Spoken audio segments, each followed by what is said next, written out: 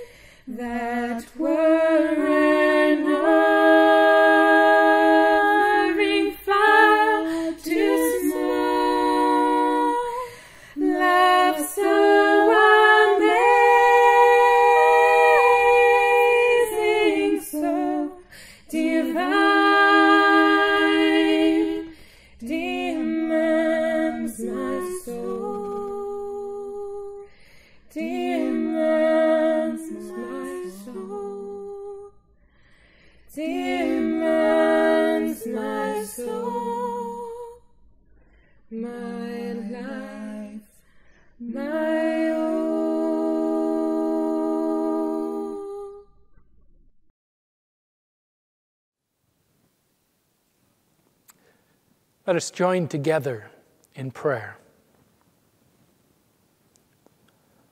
O God of infinite love and power, we worship together on this Good Friday. We see the passion that you have for us in the passion of your Son. We are utterly humbled in the presence of such love and mercy. Open our hearts this day to the goodness of Good Friday and fill us with your love and the powerful spirit of holiness. Remove from us all sin. Offer us anew this life in Christ and make all things new for us in Him. Amen.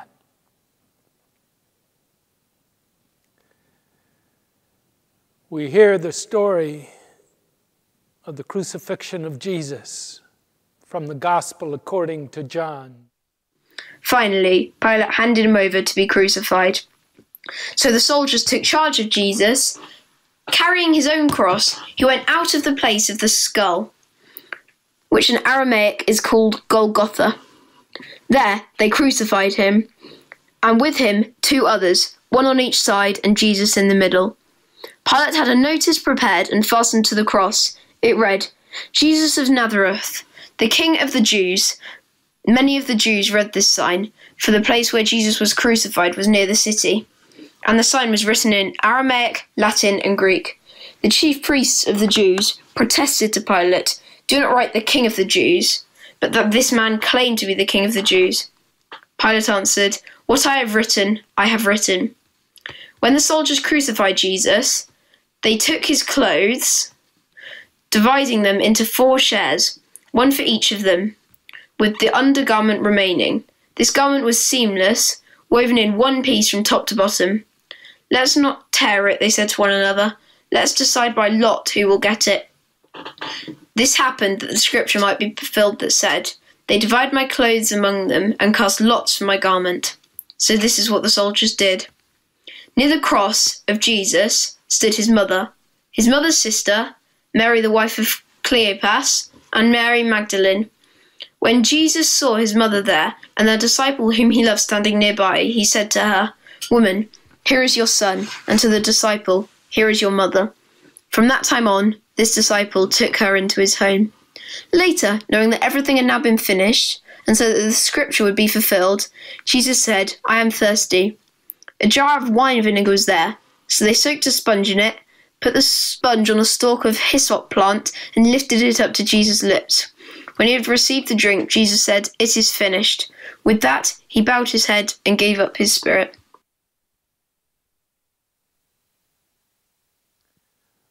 We continue to reflect on the cross as we sing together. I give you the number of the hymn because some of you at home follow along with the music. 278 of O Love Divine, What Hast Thou Done? O love divine, what hast thou done? The immortal God has died for me. The Father's co-eternal Son bore all my sin upon the tree. The immortal God for me has died. My Lord, my love is crucified.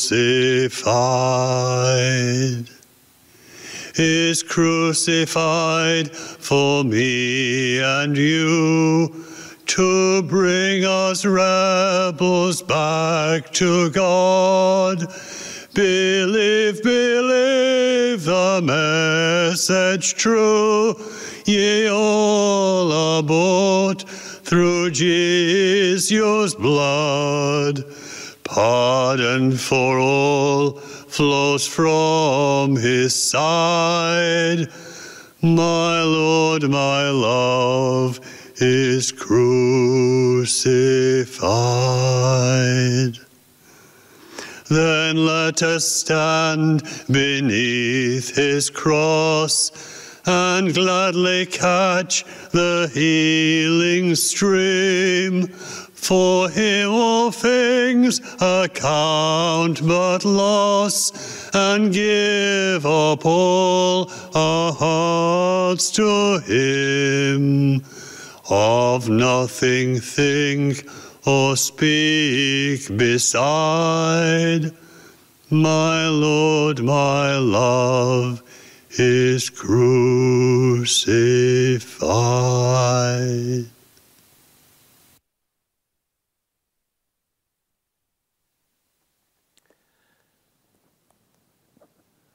We open the service with a hymn, When I Survey the Wondrous Cross. And that's what I've been doing during this lockdown. in, as I've gone for walks. I've gone for walks to crosses on the moor. And as I've walked to the cross, I've sung this hymn. And so we reflect on this hymn around the shadow of the cross at this time. Oh Lord, take your word, take your crucifixion, and bring it alive in our hearts and lives. Amen. We hear together the first verse of When I Survey the Wondrous Cross. When I survey the wondrous cross on which the Prince of Glory died,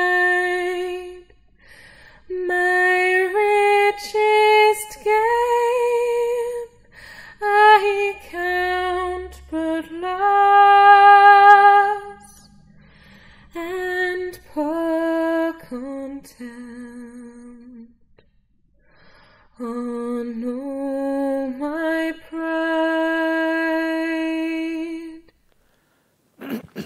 I don't know what you what led you to God. I heard a message recently that said you don't come to God unless you come as a sinner asking forgiveness for sin. Wait, I didn't come that way. I came to God because, on the preponderance of evidence, I thought there was a good chance there was a God. And that Jesus was God incarnate. And it seemed foolish to me not to go. I had no sense that I was a sinner. So I became a Christian. And when I became a Christian, I began reading Scripture and understanding and coming to the cross. And when I began to survey that cross, when I began to understand what took place on that cross, when I began to understand the price of my sin, then I began to understand my own sinfulness. If you asked me before I became a Christian, Are you a sinner? I'd say, No, I'm a pretty good person. You ask me a few months later, after coming to Christ, I would say, Yes. I long for God's holiness. My richest gain, my great pride, my great goodness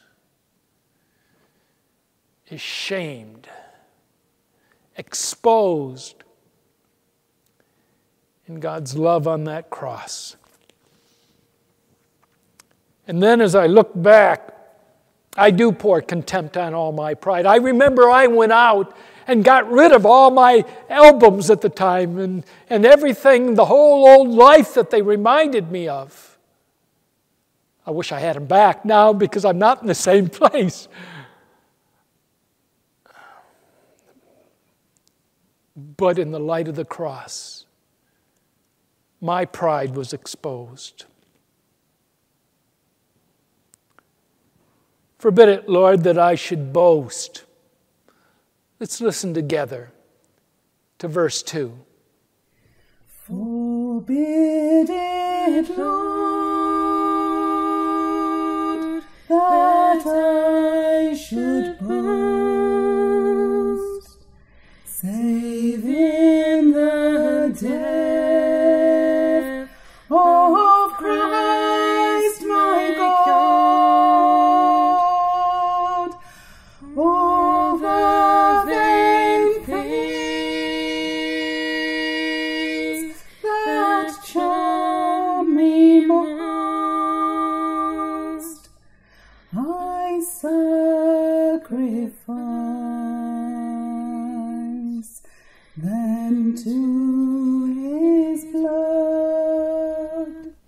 What do you boast about? I mean, we're too nice a people to really boast, and besides, uh, I've become too British. And British don't boast, that's, that's an American trait. But inwardly, I've noticed the British do boast. We all kind of feel good about certain things we do and we don't do.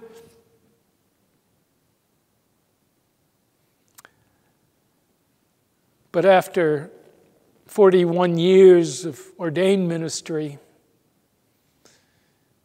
and almost 50 years of serving Christ, the only thing I have to boast in is God's goodness, God's forgiveness, God living in me. Oh, that verse. Forbid it, Lord, that I should boast save in the death of Christ my God. Even the good things are gifts from God. You know, I, I think of my life. My life itself is a gift from God. All life is a gift from God. And then the gift of new life. Oh Lord, let me see everything in light of your gift. Let me see others as your gift. Let me long only for you. When I survey the wondrous cross, let's listen to verse 3. See from his head, his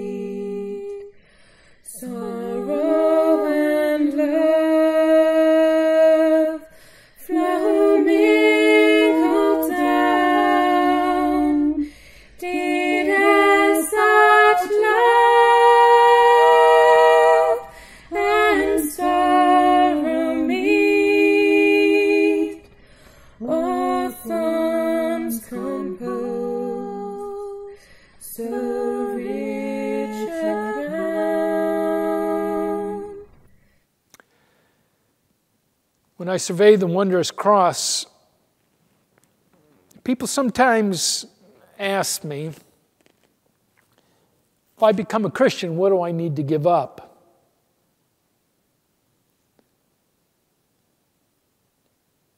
And I say, look at the cross. See the cross, see the sacrifice, see the love.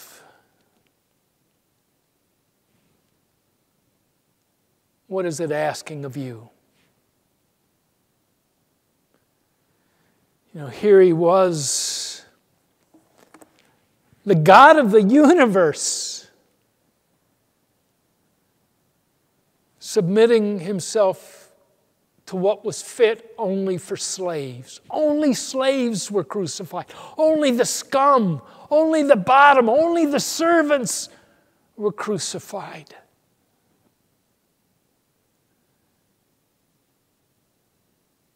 And there was Jesus in love for me, in love for you. See, from his head and his hands, his feet, sorrow and love more flow mingled down. When I survey the wondrous cross, I see that nothing, absolutely nothing in all creation can separate me from the love of God in Christ Jesus. And when I weep with you when you lose a loved one, when I hear of, of, of terrible illnesses, I don't understand, I don't have easy answers, but I see the cross. And I know God is with us. And even in that, nothing can separate us from God's love. God knows, and God is here with us.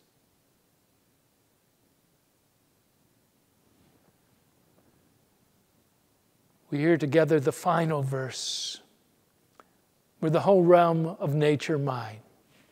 Were the whole realm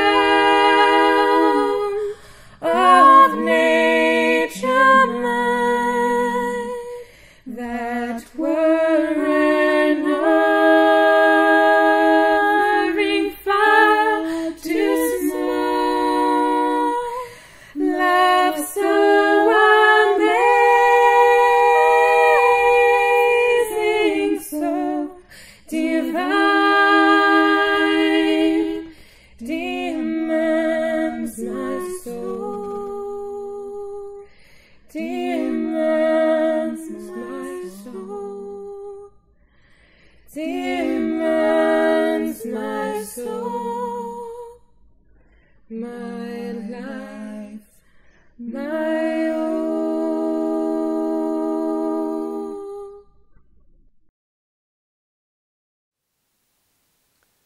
What do I need to give up when I become a Christian? My life. What do I own? Nothing. It's God's. What do I possess? Nothing. It's God's. I'm simply God's custodian. You know, if the God of the universe gives his life for me and says, Steve, I love you. Come, trust me. I come. In fact, that love is so intense, it is a magnet that draws me, demands me, and all that I am. What does that love call for? Here I am, Lord, take me and do with me what you will.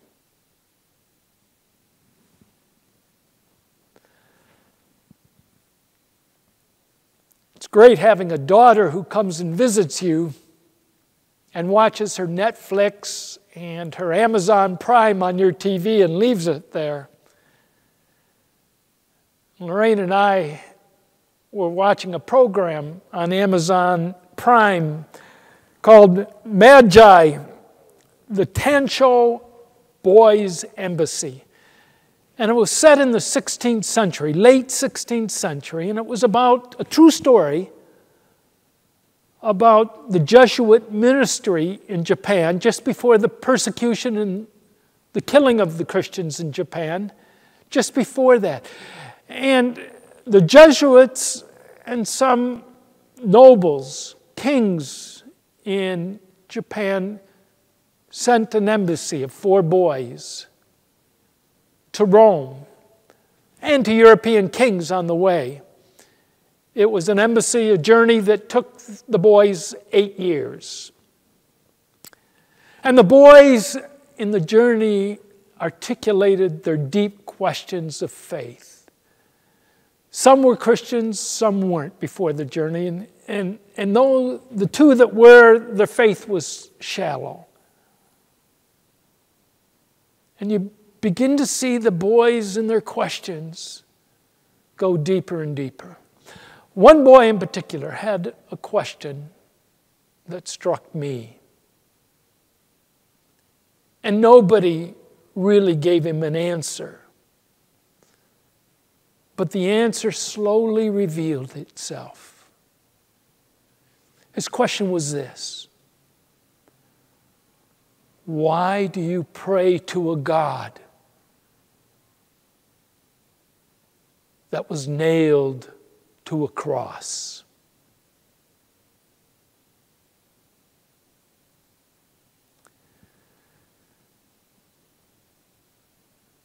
Our prayer will involve a time of silence, looking at our Lord, a painting of our Lord, nailed to the cross. Let us pray together.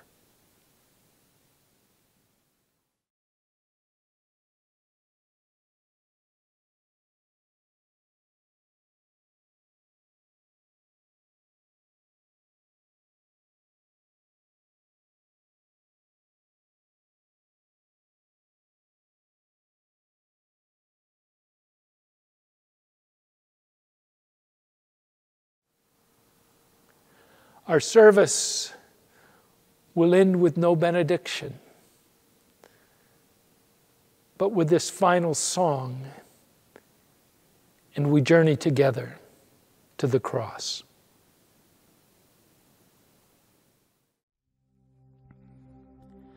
My song is love unknown, my Saviour's love to me, to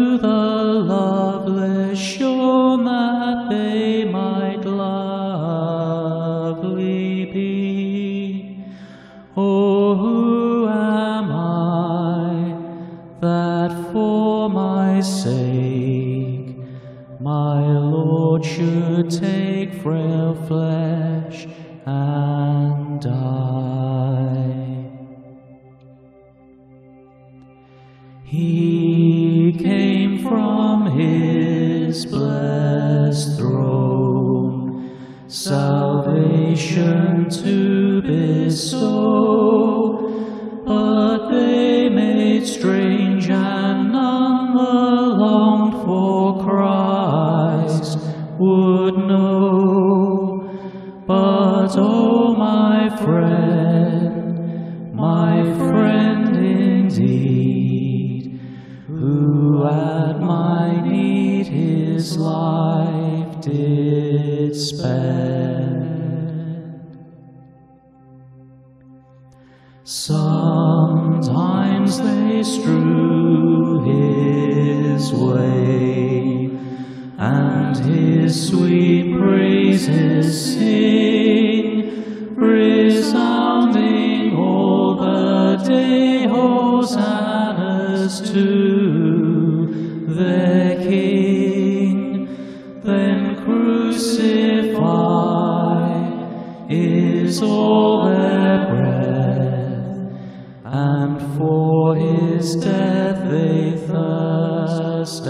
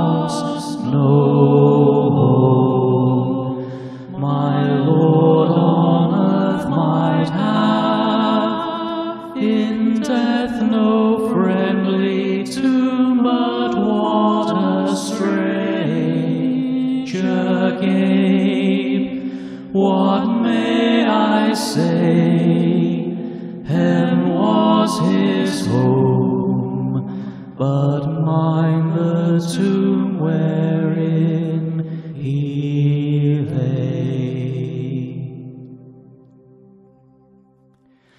Here might I stay